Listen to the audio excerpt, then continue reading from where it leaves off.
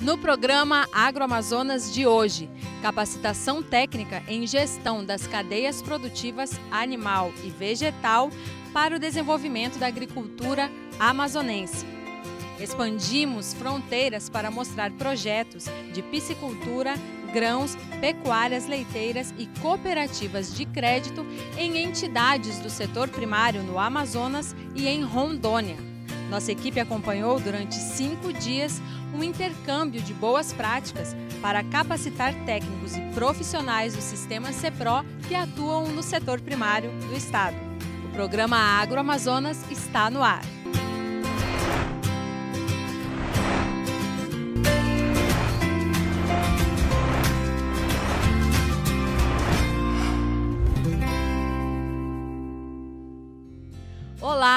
Eu e o repórter cinematográfico Kleber Moraes embarcamos para o sul do Amazonas para acompanhar o sexto módulo do intercâmbio de capacitação em gestão das cadeias produtivas animal e vegetal para o desenvolvimento da agricultura amazonense. Acompanhe com a gente!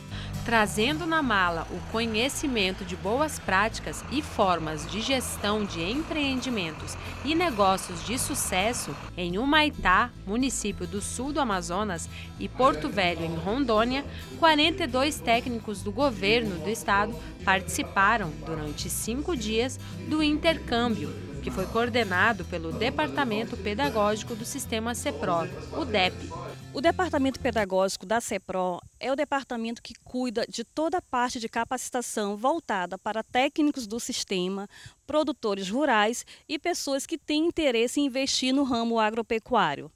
O departamento pedagógico ele é responsável pelo programa Capacita Agro, um programa que foi criado pelo governo do estado do Amazonas por meio da Secretaria de Produção Rural. É, nesse momento, nós estamos fazendo uma viagem de, de, de, intercâmbio de boas práticas, que é, faz parte do projeto de capacitação na gestão das cadeias prioritárias animal e vegetal, que irá contribuir para o desenvolvimento de forma sustentável do agronegócio da nossa região. É, é um projeto que foi desenvolvido em parceria com a Ciama e o CETAM, que irá fazer a parte de certificação. É, essa viagem de intercâmbio é importante para que os técnicos possam conhecer boas práticas e levar essas, essas experiências para que possam desenvolver projetos de forma, claro, sustentável. Sustentável na área ambiental, social e financeira, para que com isso possa é, contribuir para o desenvolvimento econômico, atrair novos investidores e também apoiar os nossos pequenos produtores, para que eles possam aplicar novas técnicas de formas econômicas, mas que possam trazer uma maior lucratividade para a nossa região. A abertura das atividades foi realizada na sede da Prefeitura de Humaitá, Amazonas. Na ocasião, foi assinado um termo de fomento entre a Prefeitura do município e a Agência Estadual de Defesa Animal e Vegetal, a ADAF. Esse evento aqui no sul do Amazonas é de grande valia, né, que permite a gente até conhecer, sair de Manicoré e conhecer o sul do Amazonas, né? Outros municípios como Maitá, que é mais avançado do que Manicoré. Como extensionista, né, hoje a gente está desenvolvendo alguns projetos é, para serem implantados no, no, município. E aí vai ser uma forma da gente ampliar os horizontes, conhecer novos empreendimentos e fazer com que esse conhecimento realmente seja é, que a gente possa colocar em prática, né, no município que a gente atua. Esse intercâmbio vem, na realidade, em encontro à necessidade, todos nós extensionistas do sul do Amazonas e das demais regiões, visando aprimorar e elevar os nossos conhecimentos em relação às nossas cadeias produtivas animal e vegetal. Foi muito importante esse momento com o prefeito Dedei Lobo, em que a ADAF, é, visando melhorar o atendimento dos produtores rurais aqui na região, o Distrito de Realidade ele vem se destacando aqui no município de Humaitá, aumentando muito a sua produção agropecuária. E daí houve uma reivindicação da, da população. O governador Wilson Lima nos orientou pelo atendimento e, graças à parceria e o entendimento da prefeitura, firmamos esse termo de cooperação para nós somarmos esforços e dar o melhor atendimento possível aos produtores daquele distrito que é tão próspero. No frigorífico Amazonas, acompanhamos todo o processo de beneficiamento do gado de corte, desde a recepção do animal até a certificação do produto.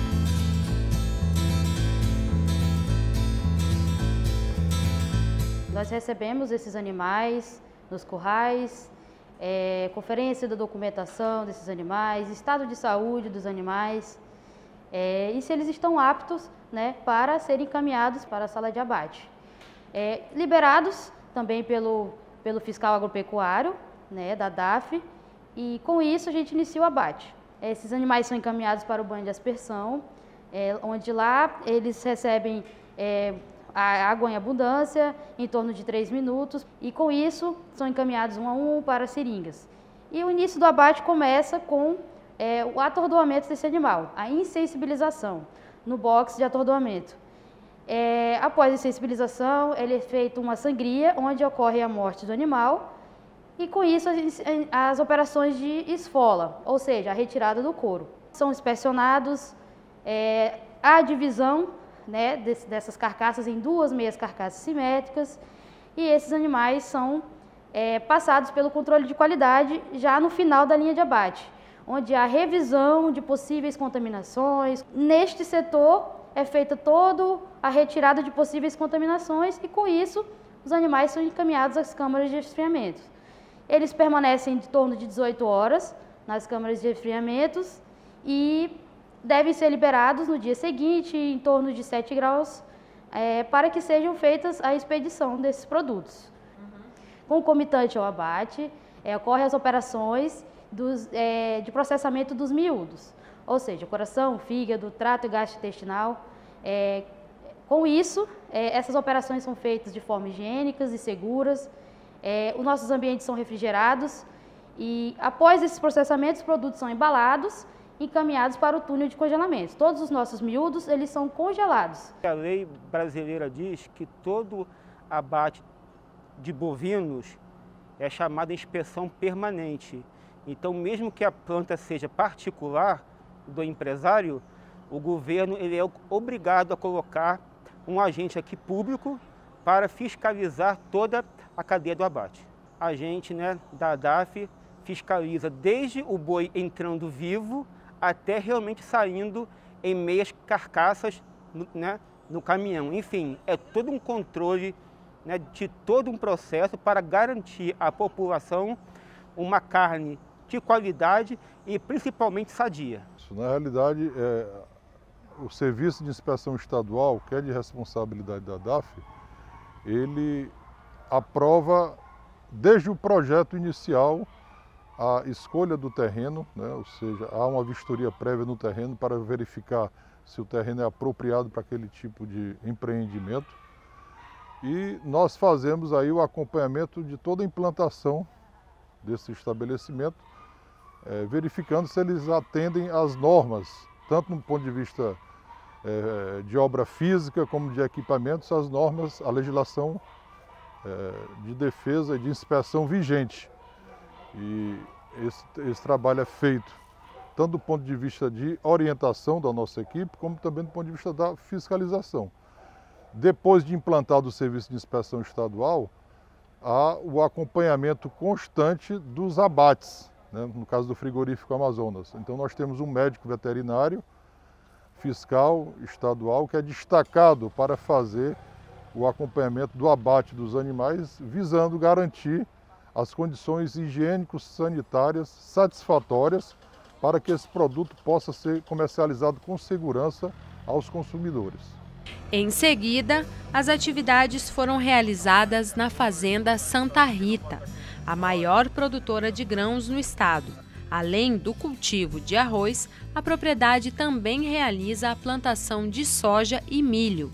Em campo, os técnicos do grupo puderam constatar todas as etapas dos plantios, dificuldades enfrentadas pelo proprietário, bem como as questões de regularização para a produção e comercialização. Para nós, técnicos né, do, do, do IDAM, é, isso é de muito grande valor, de grande valor, né? é, a visita numa área dessa de grande proporção, é, que serve de incentivo para nós que disseminamos aí essa parte da agricultura em todo o estado. Então é, é muito importante ver assim a, a imensidão que é uma área dessa, né, para início aqui no sul do estado do Amazonas e que serve como referência para a gente disseminar todo esse, toda essa cultura, todo esse trajeto, essa, essa história, né, do, do, grão aqui no estado do Amazonas. Esse intercâmbio ele serve para justamente fazer essa interação, né? Governo do estado e os produtores que estão lá na ponta, que é o que estão na prática, que estão fazendo desenvolver o agro no governo do estado. Hoje a gente está realizando plantio de arroz e soja, safra normal. A nossa soja é toda destinada à exportação, né? E o arroz é mercado regional mesmo, né? Da indústria regional. A estimativa desse próximo, dessa próxima safra é em torno de 90 a 100 sacos de arroz e em torno de 65 sacos de soja, a expectativa. As nossas dificuldades principais foi questão de adaptação de variedades e questão do clima, e manejo sanitário das, das culturas, que ao longo dos anos aí a gente foi conseguindo se, se adaptar e fazer uma boa melhora na produção. A empresa Ciagran, do grupo Mazute, absorve a produção de grãos do sul do Amazonas e Rondônia, faz o transporte e armazenamento e exporta para os mercados internacionais, principalmente para os asiáticos e europeus. O objetivo dela aqui no estado do Amazonas é fomentar o agronegócio. A partir do momento em que essa empresa se instalou, ela abre um celeiro de oportunidade para que os produtores venham a produzir em um entorno aqui do sul do Amazonas. A logística fica muito mais barata, os caminhões vão ter um frete com um custo menor e eles vão poder escoar a sua produção. Eu costumo dizer que isso é um presente para o estado do Amazonas e também um presente para o Maitá, este investimento do Grupo Mazute aqui. É um investimento pensado para os próximos 30 anos e que tem capacidade de absorver até 200 caminhões por dia. É um fluxo que vai gerar em torno de 2 milhões de toneladas por ano.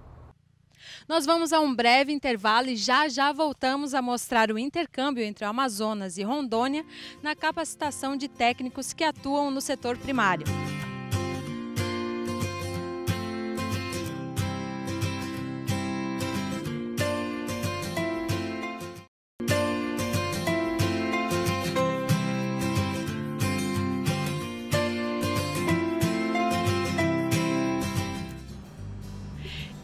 Humaitá, município a 590 quilômetros da capital do Amazonas, foram visitados cases de sucesso. A fazenda Açaizal é a maior produtora de açaí no Brasil. Tem 400 hectares de extensão, sendo que 80 hectares estão com a plantação do fruto a todo vapor.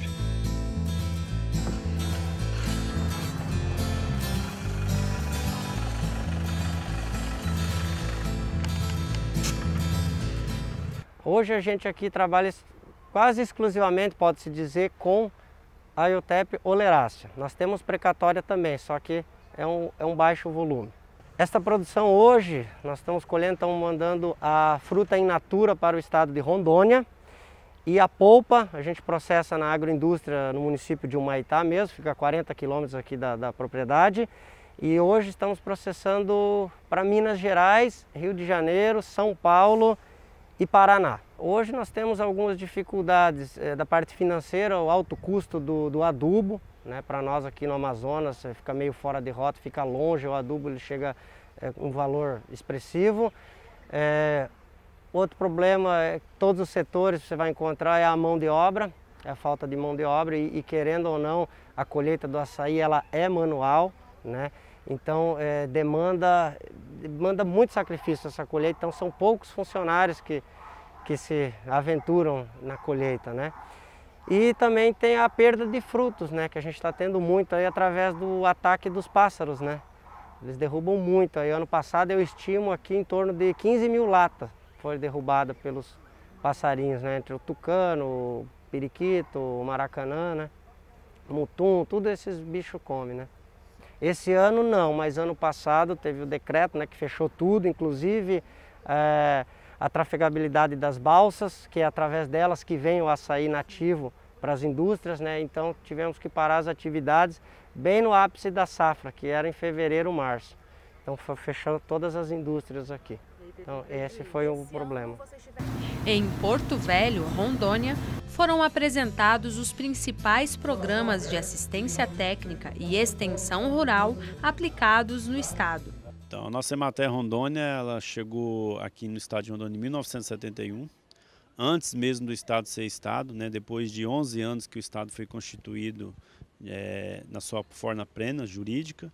E a Emater, juntamente com, com os migrantes que vieram para cá, desenvolveram esse estado, juntamente com outros órgãos parceiros. Passamos por muitas dificuldades, né, épocas difíceis, épocas sem estrada, sem energia, sem comunicação. Então a Emater Rondônia, ao longo desses 50 anos, vem sofrendo essa transformação. Recentemente, nós fizemos uma, uma, um planejamento de uma evolução dentro da Emater, ou seja, implantar a ATER 5.0.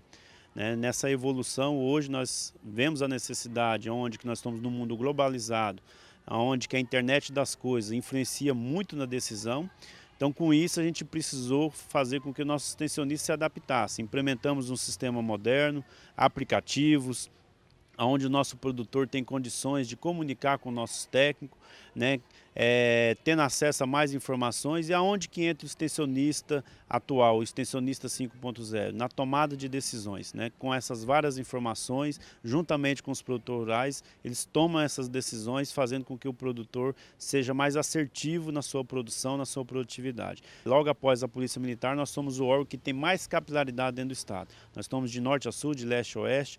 Olha, de suma importância a realização desse intercâmbio de capacitação técnica envolvendo os técnicos do Amazonas com os técnicos aqui da Ematé de Rondônia. Essa troca de experiência é fundamental, tendo em vista que nós estamos no bioma amazônico que o estado de Rondônia tem uma vocação muito forte para o agro e que o Amazonas, da mesma forma, é, tem essa vocação natural dos brasileiros de produzir alimentos e é perfeitamente possível a gente produzir alimentos no bioma amazônico com sustentabilidade. E nós estamos aqui com os técnicos da Emater justamente visando essa, essa troca de experiências, de conhecimento e, acima de tudo, tendo a oportunidade de visitar empreendimentos agropecuários aqui no estado de Rondônia que são exitosos, que respeitam a, a legislação ambiental e que têm um mercado amplo, não só no estado de Rondônia, como também em outros estados da federação. Seguindo a BR-319, o cenário de estudos e pesquisas foi na Fazenda Experimental da Embrapa, em Rondônia onde foram apresentados casos de pesquisas, desenvolvimento e inovação para a sustentabilidade, tanto da pecuária quanto da agricultura. Como exemplo, técnicas utilizadas na criação de gado leiteiro, otimizando a produção e qualidade do leite, um mercado ascendente no Amazonas. O nosso setor ele é responsável por levar aos técnicos e aos produtores rurais todos todo o conhecimento e as tecnologias que são desenvolvidas pela, é, pelas atividades de pesquisa da, da Embrapa Rondônia. Então a gente faz esse elo de ligação entre a pesquisa e o setor produtivo e os técnicos que atuam no campo. Basicamente, nós temos forrageira como principal alimento para esses animais. E o desafio é esse, é fornecer forrageiras de qualidade ao longo de todo o ano para os animais. É, aí cada sistema vai ter alguma particularidade. Alguns sistemas vão, vão, vão exigir é, maior tecnificação, e quanto mais tecnificação também eu vou ter é, maior, uma tendência de maior produtividade animal por área. E cada forrageira é, compondo dentro desse, desse sistema de produção a sua, a sua missão. Um grande desafio para os pecuaristas da Amazônia, principalmente nas áreas de várzea, são os capins usados como fonte de alimento para os animais. Grandes enchentes seguidas de grandes secas dificultam a produtividade, sendo às vezes necessárias alternativas de suplementação alimentar. É um grande desafio trabalhar com, né, dentro dessas regiões de várzea. É, nós temos capins, tem, deverá ser o capim que suporte condições de encharcamento temporário severo, né? E suporte ele sobreviver ali nesse sistema até o, o, o, as águas forem baixando e essa condição for, for melhorando para os animais, né? É, nós temos diversos capins aquáticos né, é, é, disponíveis é, e citados na literatura para isso. É, na região Amazon, na, na região é, do Amazonas, com certeza existem diversas, diversas situações com esses capins. aqui para Rondônia nós temos as situações de basicamente três forrageiras utilizadas dentro do sistema de produção que é o capim marandu, o capim umidícola e em, e em sistemas intensivos o capim pânico, né, que é o mombaça. E para se ter uma produção de leite garantida, é fundamental que o pecuarista entenda a importância dos cuidados com as glândulas mamárias dos animais, que devem ser saudáveis e ter boas condições sanitárias. É fundamental é, o produtor entender que eu só consigo produzir leite se eu tiver uma glândula mamária é, em boas condições sanitárias e saudável. É, Para eu ter uma, uma condição dessa, eu preciso cuidar dessa glândula mamária. Então, processos de higiene são fundamentais.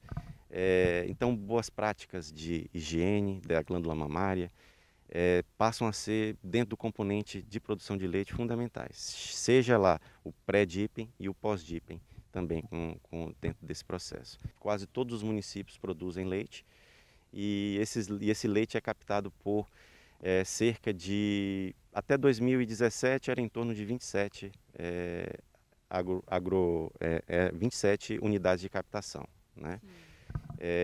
atualmente deve estar tá girando em torno disso aí. Dado recente né, da, da agência Idaron, está girando em torno de 1.900 1 milhão e 900 litros é, diários de leite. Né? É um volume muito, muito considerado, né? um, um grande volume, e que faz girar toda uma economia né, para o pequeno produtor dentro de todos os municípios é, do, do, do, estado de Rondônia. Na sede do Cicobi Amazônia, uma cooperativa de financiamentos voltados ao desenvolvimento do agronegócio, foram apresentadas as vantagens do cooperativismo e a importância dos financiamentos para o desenvolvimento efetivo do agronegócio. Todas as cooperativas têm seu papel fundamental. O sistema de cooperativas no Brasil tem o agropecuário que era muito forte. E hoje o sistema crédito de crédito cresceu muito. Não é diferente no estado de Rondônia. Nós temos cooperativas de crédito nos 52 municípios do estado de Rondônia e praticamente todos os distritos. Rondônia é o único estado no Brasil que é coberto 100% de cooperativas de crédito. E a importância disso é que movimenta a economia no local, gerando emprego e renda para aquelas pessoas no qual está inserido o cooperativismo de crédito e outros. Porém, o diferencial nosso está no social, porque você movimenta a economia gerando emprego e renda. Nossas cooperativas têm dado resultados importantíssimos em tempos de pandemia, tanto na saúde quanto na sua economia. Crédito rural ele precisa estar presente nesses empreendimentos. Então nós também precisamos chegar com esses empreendedores e ofertar essa oportunidade, porque o crédito rural ele é uma oportunidade para todos esses empreendedores. Desde, como eu falei antes, a parte de implantação, né, no preparo de áreas, como desenvolvimento não só em si dessa, dessas culturas a serem implantadas, mas como na parte de logística e pós-colheita. Olha, nós temos os parceiros, os agentes financeiros, né, que através de nossas parcerias, né, através das nossas instituições, do sistema CEPRO, IDAN, ADS, ADAF, é, nós operacionalizamos na parte de elaboração de projetos, né, que serão ofertados é, algumas linhas de crédito para os empreendedores, para no nosso caso, os produtores rurais, e, e aí eles vão é, delegar esses recursos nas atividades das suas áreas. Nós temos hoje 67 unidades locais do IDAM em todo o estado do Amazonas e nós somos o principal parceiro com os agentes financeiros para levar o crédito rural até os nossos produtores. Técnicos da cadeia animal realizaram visita técnica ao projeto de piscicultura da Fazenda Divisa, que conta com 37 hectares de lâmina d'água e uma produção anual de 250 toneladas. Em seguida, foi realizada visita ao sítio Dom Henrique para conhecer as boas práticas e tecnologias aplicadas à pecuária leiteira. Visitas que nós estamos fazendo aqui hoje né, são extremamente importantes. Né? Nós estamos visitando empreendimentos de grande porte, com uma infraestrutura e uma tecnologia é, que a gente não vê normalmente no, no nosso dia a dia. Né? Então tem sido uma experiência assim magnífica para nós podermos agregar mais conhecimento e desenvolver nossas atividades levando tecnologia, levando mais conhecimento ao produtor rural do estado. A Emater Rondônia vem incentivando a cadeia produtiva do tambaqui.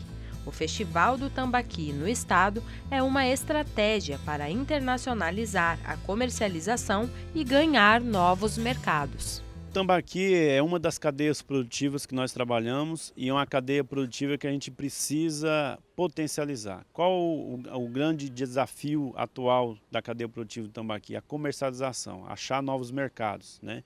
Então, com isso, nós começamos timidamente né, com o Festival do Tambaqui na cidade de Ariquemes, que é o, o município maior produtor desse pescado aqui no nosso estado. E Fomos ousados. Em 2019, o então secretário nacional de pesca, Jorge Seif, visitou o nosso estado e fez um desafio para nós, né? Para nós fazermos um assado de tambaqui na esplanada do Ministério. E de pronto a gente atendeu, né, não só nós da Ematé, mas o secretário Padovani, que é o secretário de Agricultura, e o governo comprou a ideia e fomos lá em 2019 e assamos quase 6 mil bandas de tambaqui na esplanada do Ministério, levando é, e divulgando essa potencialidade. E o ano passado era para ter é, um assado de tambaqui na CEAGESP em São Paulo. Estava né? marcado para o dia 26 de março, já que a CEAGESP comercializa 450 toneladas de pescado por dia, mas daí dia 16 começou a pandemia. Então nós precisamos cancelar. E este ano né, é, a, mesmo assim, o ano passado a gente fez o festival, mas só em 10 municípios aqui no estado de Rondônia. E este ano nós fizemos mais uma coisa ousada, juntamente com vários parceiros, Sebrae, Acripar, que é a Associação dos Piscicultores do Estado de Rondônia, governo do estado, né, vários parceiros mesmo. E fizemos um, o maior assado de tambaqui, não nacional, mas mundial. Né? Foram assados simultaneamente nas 26 capitais, Distrito Federal, em 32 municípios no estado de Rondônia, quase é, 35 mil bandas de tambaqui. Ao todos, ao final, foram 34.050 bandas de tambaqui assadas. Essas bandas foram comercializadas a um preço simbólico de 20 reais e todo o recurso arrecadado foram destinados às instituições filantrópicas para desenvolver as ações sociais. Na programação do grupo da cadeia vegetal, os técnicos visitaram a cooperativa de produtos rurais de Observatório Ambiental Giral, a Coprogiral referência no desenvolvimento sustentável da agricultura familiar da região.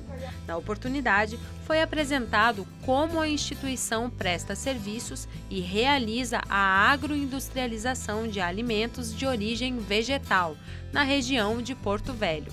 Essa capacitação está viabilizando ah, informações importantes né, de como elaborar os projetos, né, que a gente possa estar tá passando isso para os nossos produtores rurais, a, as lembranças entregues né, aos nossos, é, as pessoas que estão recebendo essa equipe toda, elas foram confeccionadas por, por moveleiro, né, uma moveleira que ela é, integra o nosso programa, promove, e ela confeccionou a caixa né, de madeira e os produtos que estão dentro são dos produtores rurais que trabalham nas nossas feiras. A Coprogiral é uma cooperativa de pequenos produtores que nasceu né, a partir de uma, de uma demanda, né, de um apelo. Existia um programa de educação ambiental que atendia usina Giral. Foi criada uma associação para atender principalmente os remanejados da área urbana. Os projetos desenvolvidos pela cooperativa primariamente foi produção de mudas, coleta de sementes, Né? Isso foi para se capitalizar. Né? E paralelo, toda a, a produção né, de, de, de agricultura familiar. Né? Então, isso proporcionou à cooperativa ter um, um, corpo técnico através desses projetos de APP, áreas de preservação permanentes, PRAD, que também é no canteiro da usina. A gente pegava esses serviços para poder dar assistência à agricultura familiar da região. A gente tem feito muito sucesso, né?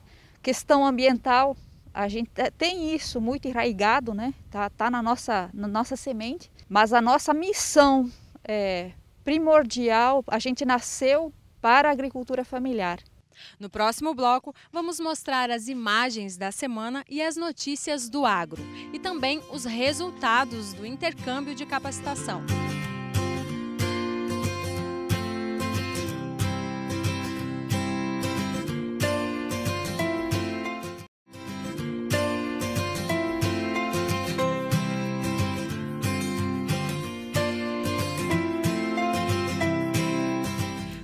Agora as imagens da semana.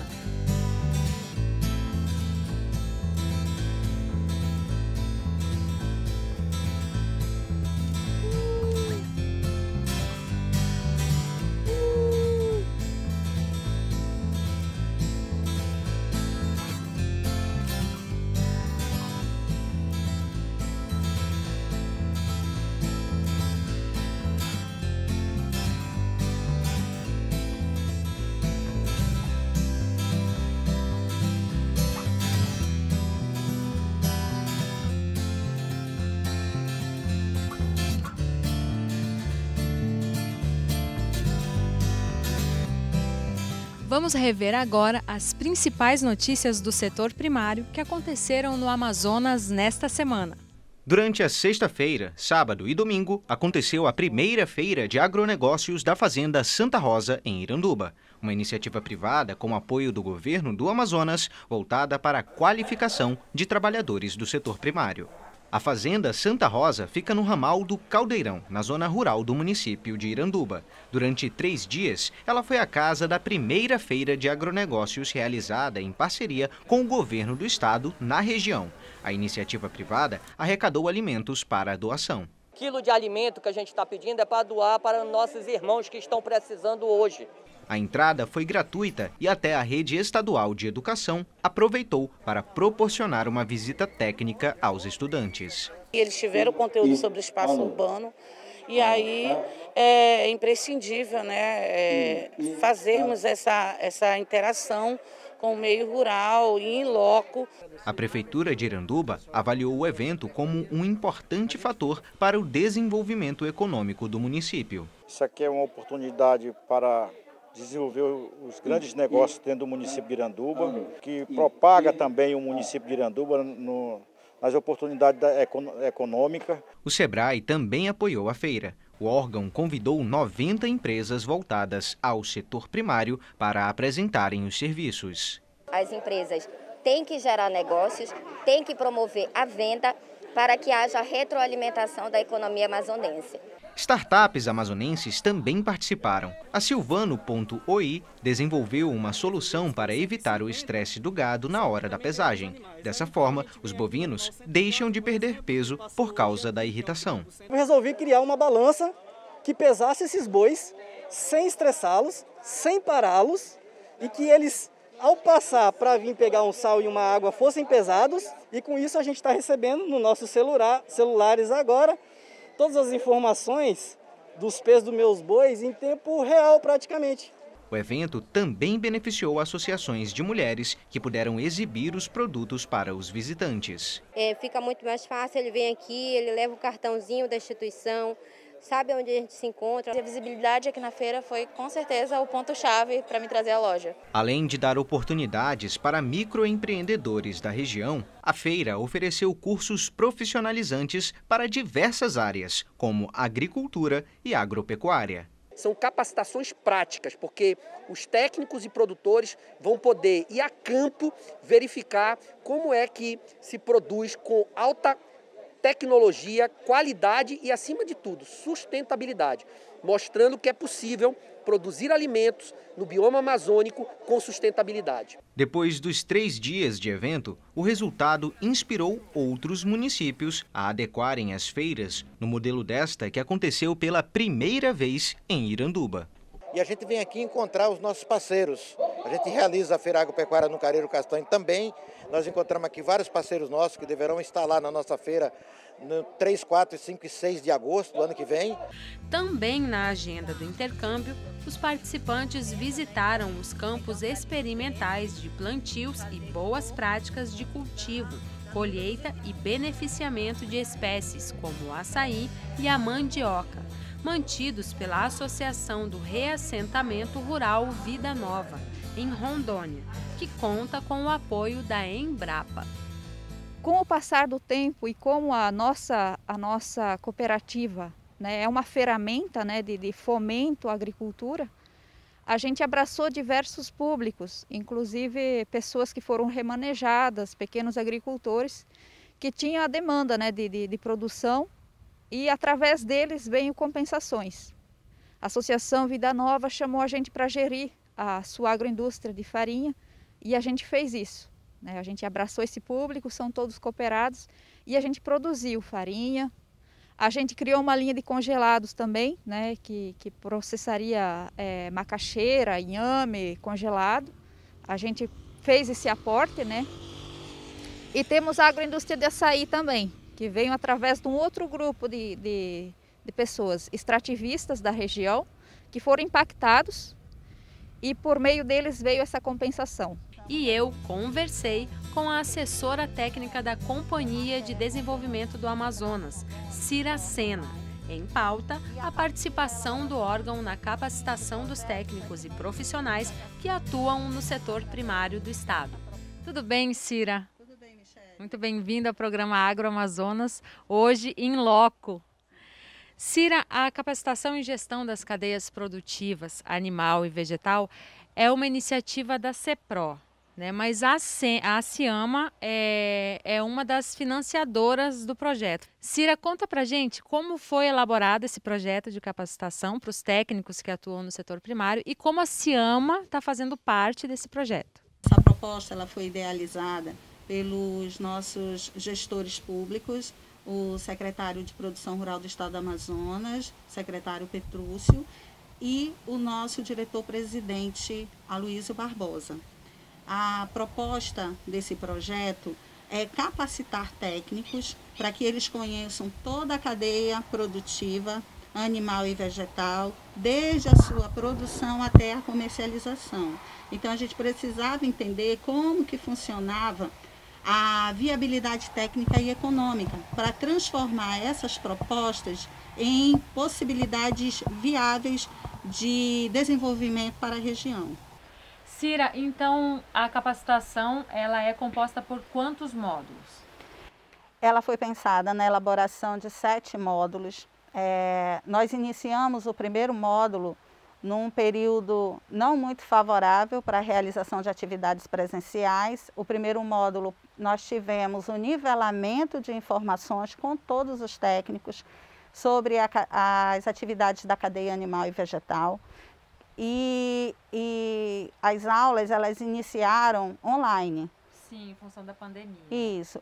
Tivemos, já, tivemos o um módulo de nivelamento, tivemos o um módulo de legislação ambiental.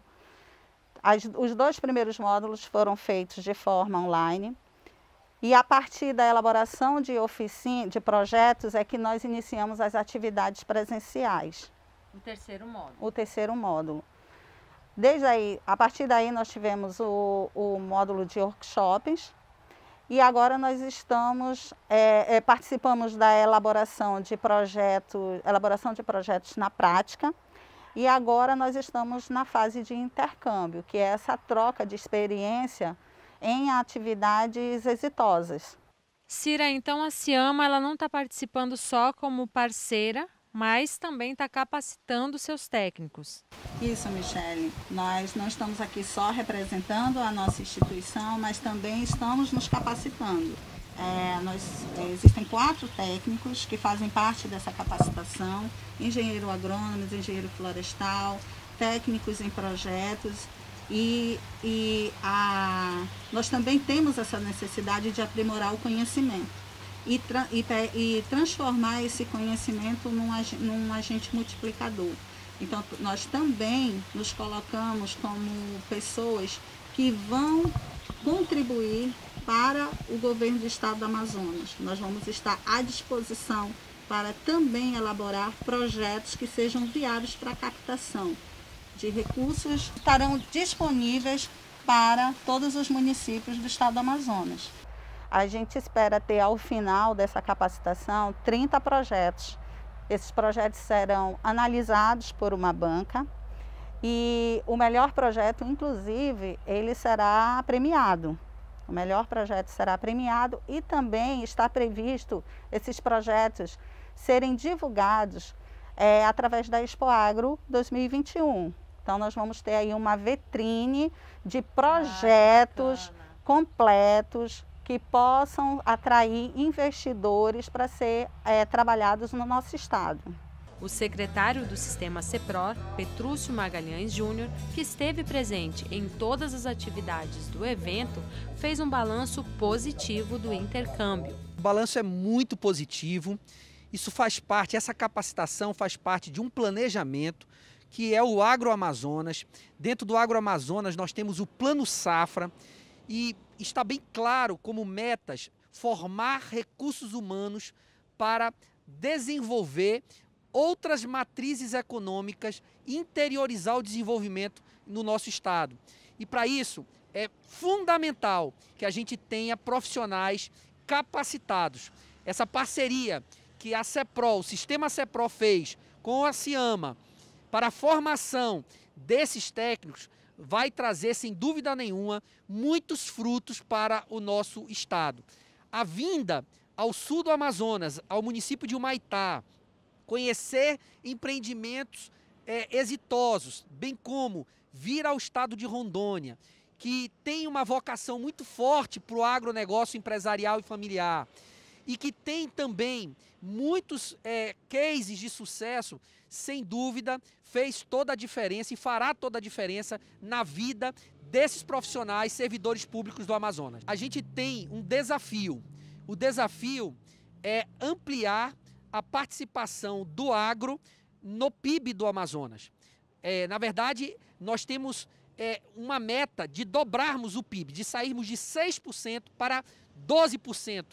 E essa participação só vai acontecer se nós tivermos técnicos, recursos humanos e o governador Wilson Lima deixou e deixa um grande legado para o Amazonas, que foi a convocação de 208 novos servidores da DAF, da Agência de Defesa Agropecuária, e mais 227 é, técnicos do IDAM, que é o nosso órgão oficial de assistência técnica e extensão rural.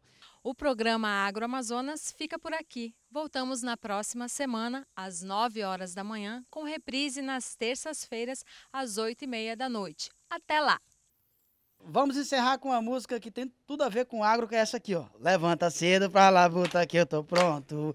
Eu muito conto com meu Deus que tá no céu. Eu tenho a senha pra correr em todo canto. Humildade e disciplina do sermão que mãe me deu. Eu tenho a senha pra correr em todo canto. Humildade e disciplina do sermão que mãe me deu. Valeu, galera!